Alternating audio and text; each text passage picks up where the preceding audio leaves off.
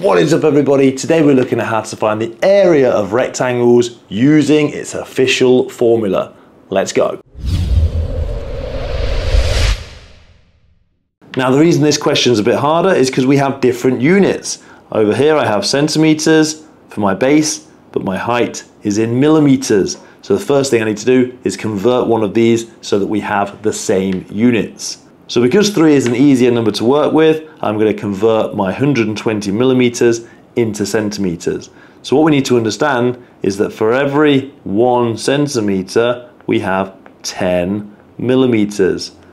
So if I have 120 millimeters, what I need to do is divide this by 10 to get to my centimeters. So 120 divided by 10 equals 12.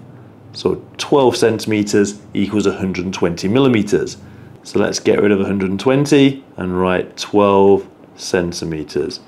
Now I'm ready to just use my formula. Area equals base times height.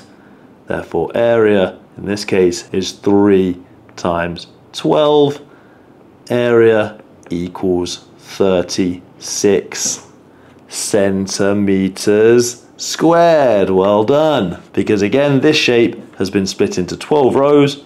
1, 2, 3, 4, 5, 6, 7, 8, 9, 10, 11 and 12 and three columns. 1, 2, 3 and all we're doing is counting these individual blocks which are each centimetre squares and we have 36 of them.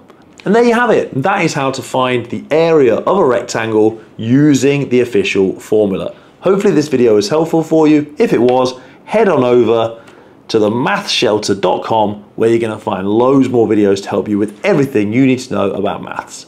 But for now guys, see you in another video. Peace